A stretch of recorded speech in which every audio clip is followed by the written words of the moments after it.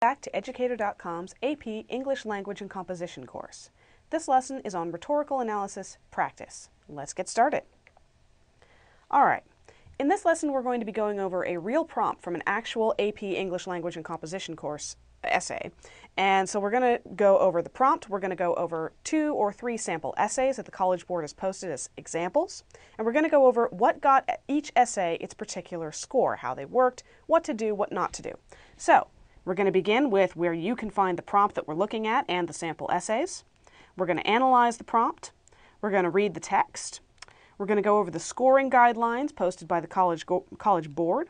And we're going to look at the sample essays, also posted by the, by the College Board. And we're going to end with a set of tips for the rhetorical analysis essay when you have to tackle it on the test. All right, to begin with, the prompt. This prompt is available on the College Board's website. There should be a link in the quick notes.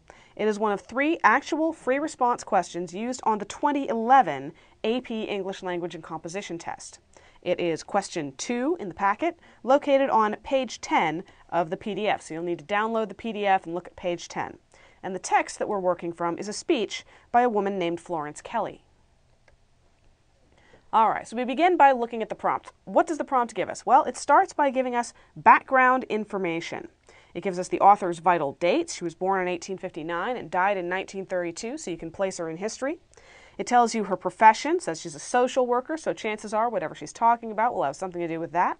And her achievements, what she's known for. And in this case, what she's known for are child labor laws and improved labor conditions for working women. So we're probably going to be dealing with something related to labor and women and children. The prompt gives the context of the speech, the National American Women's Suffrage Association, July 22, 1905. Now, if you know your history, you know that 1905 is before women had the vote in the United States, and there was quite a debate about whether they should have it. But this is a conference of something called a Women's Suffrage Association, so chances are her audience was very much in favor of women having the vote. Good things to know. The prompt also has a focus. You're being asked to identify the rhetorical strategies that Kelley used to convey her message about child labor. So you're looking at the structure of the argument and you're looking at how it supports her point about child labor. So you will, of course, need to identify that point.